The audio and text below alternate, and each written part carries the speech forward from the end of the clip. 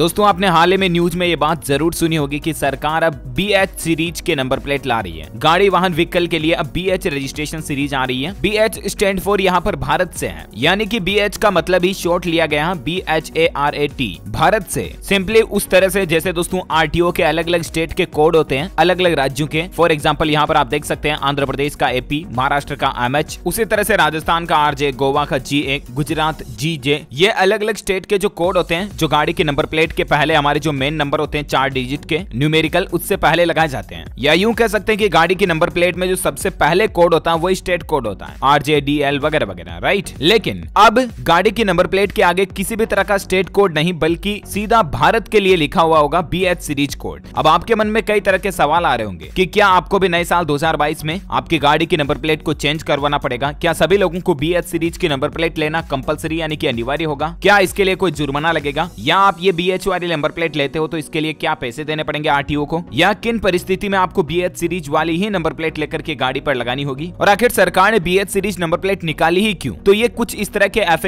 हैं, जो सारी इन्फॉर्मेशन है ए टू जेड कांच की तरह क्लियर मैं आपको इस वीडियो में समझाने वाला हूँ तो ध्यान से देखते रहिएगा। दरअसल दोस्तों बी एच सीरीज़ सरकार ने निकाली है भारत के लिए। यानी कि बोले तो अलग अलग राज्यों के लिए आपको रजिस्ट्रेशन परमिट अलग अलग लेने की ज़रूरत नहीं पड़ेगी। बी एच नंबर प्लेट आपके गाड़ी पर लगी हुई है मतलब आप भारत के किसी भी राज्य में बेझिझक घूम सकते हैं। आपको कोई भी आरटीओ, ट्रैफ़िक पुलिस वगैरह नहीं रोकेगा, ना ही नॉर्मल पुलिस आपकी गाड़ी की नंबर प्लेट को लेकर कभी आपको रोकेगी, टोकेगी। अगर आपकी गाड़ी पर B H series number plate लगी हुई है देन बेझिझक आप पूरे भारत में कहीं पर भी घूम सकते हैं। हाल ही में भारत में नए वाहनों के लिए न्यू रजिस्ट्रेशन मार्क पेश किया है सरकार की तरफ़ से, और सरकार ने संसद में भी सड़क परिवहन मंत्रालय द्वारा एक बड़ी घोषणा की है, जिसमें बी एच सीरीज़ बोले तो भारत श्रृंखला के लिए एक न्यू रजिस्ट्रेशन मार्क सामने रखा गया है, जिसमें कहा गया है कि वाहन मालिकों को एक राज्य से दूसरे राज्य में जाने के लिए इस पंजीकरण चिन्ह के लिए किसी नए रजिस्ट्रेशन मार्क के असाइनमेंट की आवश्यकता नहीं होगी, ठीक है? अब आप ये तो समझ गए की पूरे ऑल इंडिया परमिट के लिए, जैसे कई सारे लोडिंग व्हीकल्स के लिए लिया जाता है एआईपी ऑल इंडिया परमिट फिर उनको भारत में किसी भी स्टेट में घूमने की इजाज़त होती है राइट उसी तरह से आप अपनी कार, वाहन पर्सनल गाड़ी व्हीकल के लिए भी ले पाएँगे। लेकिन अब सवाल ये कि सरकार किन लोगों को B S series registration mark वाली नंबर प्लेट देगी या कौन कौन लोग इसके लिए अप्लाई कर सकते हैं, ठीक है ना? तो इसके लिए सरकार ने कुछ कंडीशन और शर्तें रखी है, वो मैं आपको बताऊँगा। पहले ये समझिए कि सरकार का इस नंबर प्लेट को लॉन्च करने के पीछे मेन मकसद क्या है? तो दोस्तों, जैसा कि ये तो आप खुद ही समझ गए होंगे कि इस सीरीज़ वाले नंबर प्लेट के तहत आप अपनी गाड़ी को देश में कहीं भी चला सकते हैं, ठीक है ना? अब इस सीरीज़ के नंबर प्लेट का सीधा फ़ायदा उन लोगों को मिलेगा जिनका ट्रांसफ़र किसी अन्य राज्य में होता रहता है। यानी कि जो कोई ऐसी बड़ी पोस्ट पर नौकरी कर रहे हैं, जैसे ज़्यादातर जिला कलेक्टर हो गया, छह सात महीने किसी एक डिस्ट्रिक्ट में रहते हैं, फिर उन्हें दूसरे राज्य में दूसरे डिस्ट्रिक्ट में भी भेज दिया जाता है, कई बार। और भी इस तरह की कई सारी पोस्ट है, ये तो मैंने आपको फॉर एग्ज़ाम्पल उदाहरण के लिए एक पोस्ट बताई, ठीक है ना? ऐसे कई लोग बाग भी हैं जिनका अक्सर इस तरह का काम पड़ता रहता है कि आज इस राज्य में, कल उस राज्य में, परसों उस राज्य में, है ना? तो उन लोगों को बार बार स्टेट आरटीओ रजिस्ट्रेशन चेंज करवाने की नौबत नहीं पड़े इसके लिए। बीएच सीरीज़ वाला नंबर प्लेट आप रजिस्टर करवा लोगे तो उन लोगों को दूसरे राज्य में भी इसे बदलने की आवश्यकता नहीं पड़ेगी, ठीक है? अब कौन लोग इसके लिए इलिजिबल होंगे, कौन इसके लिए अप्लाई कर पाएँगे? तो सबसे पहले तो इसके लिए आपको एक इलिजिबिलिटी टेस्ट पास करना होगा, जिसके लिए क्या क्या रिक्वायरमेंट रहेगी तो आपको बता दूँ, इसके लिए आप आरटीओ के ऑफिशियल पोर्टल से ऑनलाइन ही अप्लाई कर सकते हैं, ठीक है ना? लेकिन आप अप्लाई उसी कंडीशन में कर पाएँगे, अगर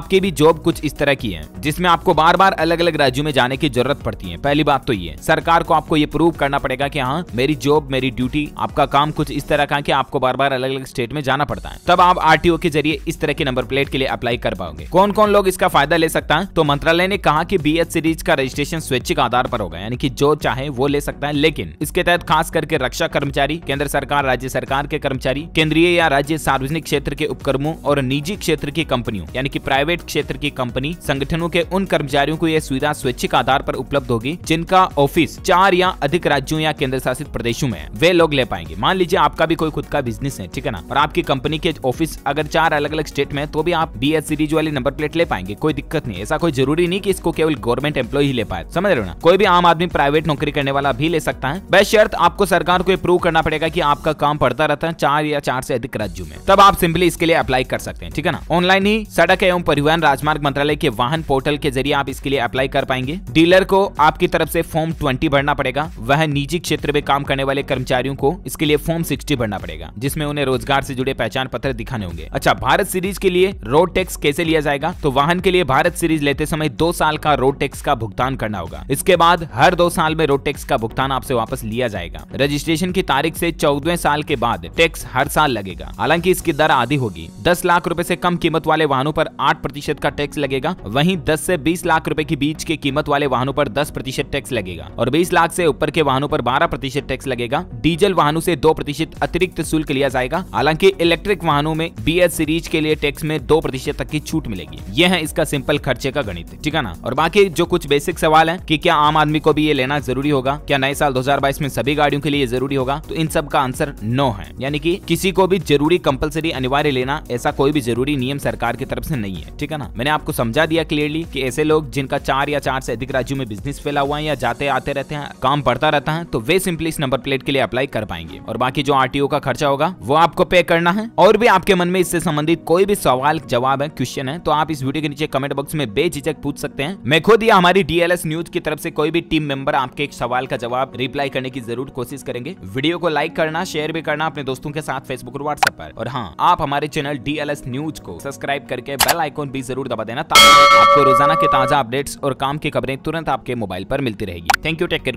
goodbye जय हिंद, जय भारत, वंदे मातरम।